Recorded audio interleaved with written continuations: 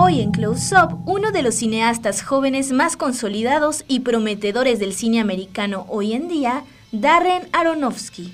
Darren Aronofsky es un director, guionista y productor estadounidense nacido en Brooklyn. Proveniente de una familia judía de profesores, desde niño mostró una fuerte vocación por el cine, hecho que lo llevó a Harvard a estudiar antropología y animación, egresando con mención honorífica y cinematografía en el American Film Institute.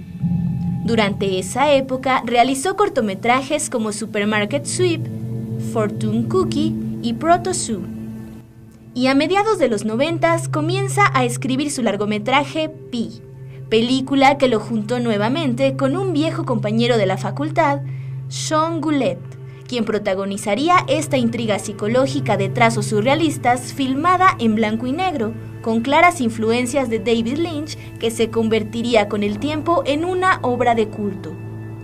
Gracias a Scott Franklin pudo rodar la película y participó en el Festival Sundance, donde Aronofsky gana el premio de dirección entre muchos otros.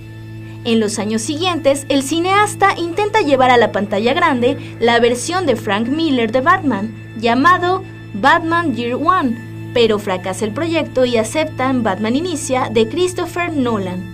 Durante esas épocas, una amiga le propone leer el libro de un escritor llamado Hubert Selby Jr., el nombre del libro en cuestión era Requiem por un sueño.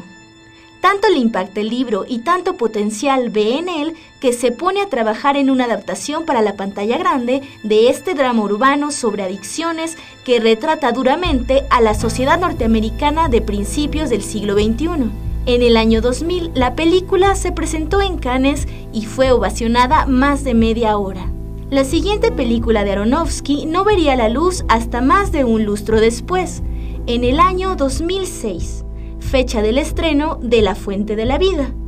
Con un presupuesto pequeño, después de tener problemas con el estudio y algunos actores que decidieron retirarse del proyecto, como Brad Pitt y Kate Blanchett, la película pasó con más pena que gloria por la taquilla mundial y esta vez no pudo contentar completamente a todo el mundo. El filme produjo una enorme división de opiniones tanto en la crítica especializada como en el público. En el año 2008 presentó El luchador, su cuarto largometraje que obtuvo el León de Oro del Festival de Venecia. La película está protagonizada por Mickey Rourke y Marisa Tomei y narra la vida de Randy Robinson, un antiguo campeón de lucha libre que se encuentra en el ocaso de su vida profesional. Con esta película, Aronofsky volvería a conquistar a la crítica y se consolidaba como una realidad. Su último trabajo, Black Swan o El Cisne Negro, se estrenó en Estados Unidos el 1 de diciembre de 2010. La película, considerada un thriller psicológico, le valió a Natalie Portman un Oscar como mejor actriz por el papel de Nina, una bailarina de ballet de una compañía en Nueva York. La habilidad de Aronofsky se vuelve a ser presente y esta cinta lo convertiría en un director que si bien es joven, se encuentra en plena madurez creativa. Su próximo proyecto a estrenarse es Noé, protagonizada por Russell Crowe, Anthony Hopkins y Jennifer Connelly, basada en el personaje bíblico El episodio del arca y el diluvio universal.